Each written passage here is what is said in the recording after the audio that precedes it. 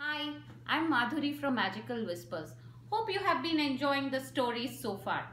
Today's story pot is brewing with an interesting story, that of courage and bravery. Are you ready? So type yes if you're ready. I can see some friends online. Yeah, so let's start with the song. A pinch of hope. A pinch of hope. A punch of love.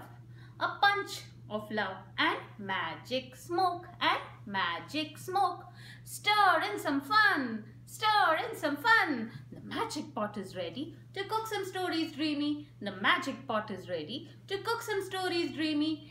Abracadabra, zooby dooby dot. Again, abracadabra, zooby dooby dot. Let's cook some stories in the magic pot. Let's cook some stories in the magic pot. So today's story is about Chhatrapati Shivaji Maharaj. You must have recently celebrated Maharashtra Day. Well, Chhatrapati Shivaji Maharaj was the greatest and the bravest Maratha king. He fought many wars and he won many forts. So today children, we are going to learn how Shivaji Maharaj escaped from Agra. Shivaji Maharaj was very brave children. The Maratha kingdom was growing and flourishing under his rule. He had captured many Mughal forts and he had recaptured them and established the Maratha kingdom far and wide across the country. Aurangzeb, the emperor of the Mughal Sultanate, was sitting in Agra and he was hoping to catch hold of Shivaji.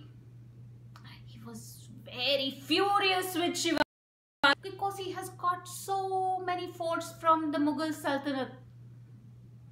One day he sent out an invite to Shivaji asking him to come and join him for his birthday celebrations. Shivaji Maharaj was very happy to receive the invite. Hmm, finally Emperor Aurangzeb has recognized the Maratha kingdom. We shall all go. Let's prepare. Bring lots of gifts and lots of sweets. And with a few trusted Maulas, his soldiers, his son Sambhaji, Shivaji Maharaj set out to Agra. But as he reached Agra, in the palace, he was made to stand among the commoners. Can you imagine all the kings standing right in the front and sitting near the emperor Aurangzeb and Shivaji Maharaj, the king of Maratha kingdom, was made to stand amongst commoners. This was an insult Shivaji Maharaj couldn't take. He stormed inside the palace and he waved at Aurangzeb and said, How dare you? How dare you insult a Maratha king? Aurangzeb was looking for just this opportunity and he caught Shivaji and his trusted Maulas and Sambhaji and put them in house arrest. The house was heavily guarded children. Even a small little ant had to take permission before entering anything like food and clothing that had to go inside were checked and rechecked by these soldiers. Shivaji Maharaj thought it's going to be really tough to get out of Agra now. With just a handful of soldiers, how do I fight an entire army? How do I get out of this heavily guarded house? That's when he hatched a plan. A plan so smart, a plan so wise that nobody would have guessed. And out would have come Shivaji Maharaj and Sambhaji and his Maulas. One day, one of the Maulas ran across and went to the soldier and said, Quick, quick, please call Aved. Shivaji Maharaj isn't feeling well. He is very was called up. a vet came and he gave some medicines. He said, maybe this will make you feel better. Days passed, weeks passed, but Shivaji Maharaj wasn't feeling better at all. Aurangzeb thought, hmm, that's it. This is the end of Shivaji and I shall recapture the Maratha kingdom. Shivaji Maharaj was feeling very sick, children. He sent out a message to Aurangzeb. He asked Aurangzeb to let some of his Maulas go back to the Maratha kingdom. After all, he was so sick, he did not need so many attendants. Aurangzeb thought, hmm, it's okay, let it be, let the Maulas go. I think this is just the end of Shivaji. Let me show some mercy. Let go of some Maulas. Now, with just a handful of Maulas and Sambhaji, Shivaji really hatched a great plan. The great escape from Agra.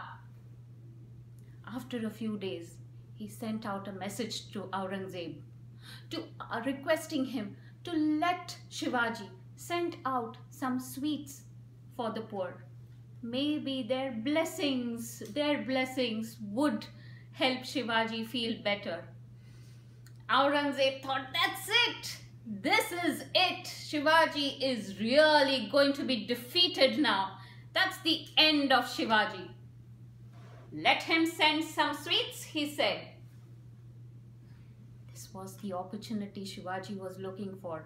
He called for big baskets, big and huge baskets, children. The baskets were filled with sweets up to the top. And everyday sweets were sent out to the poor. The first few days, all the guards would check the sweets, go right till the bottom, check all the entire basket and see if there is anything inside. But as days passed and weeks passed, the guards got really tired of checking the baskets. They started letting go of the baskets unchecked. Shivaji and Sambhaji were looking for this opportunity and inclined Sambhaji, little Sambhaji, inside the basket and he was covered with sweets. Inclined Shivaji and he was covered with sweets. And inclined four other Maulas and they were covered with sweets But the fifth Maula, the most trusted one, stayed back. He went and he lay down on Shivaji's bed, pretending to be Shivaji, and tricked the guards. The big and huge baskets were carried out of the house. Slowly and steadily, the baskets were sneaked out of the house. And that's how Shivaji and Sambhaji escaped from Agra right under the nose of these guards and those soldiers. And that's how Shivaji was. I hope you liked this story. So Shivaji with his wit and his courage escaped from Agra. He didn't have to use his famous talwar Bhavani but we shall definitely sing his slogan. Sing with me. Jai Bhavani, Jai Shivaji, Jai Bhavani, Jai Shivaji. Thank you. Next week, don't forget to log in and we are going to teach you how to make shivaji's talwar with a bit of newspaper some foil some fevicol and some cellophane tape. See you. Bye